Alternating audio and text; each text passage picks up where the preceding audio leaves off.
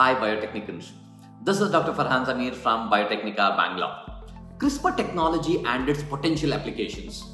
The CRISPR Cas9 system is a research hotspot in genome editing and regulation, which is used for genomic silencing and knock in experiments, as well as transcriptional activation and repression, which will help in transforming lives of people with serious diseases.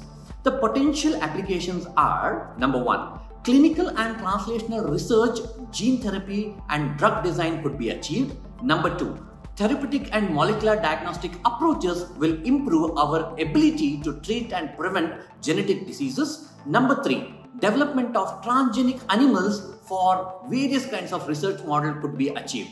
To learn more about such kind of newer technologies, join the internships at Biotecnika and get yourself updated. Thank you very much.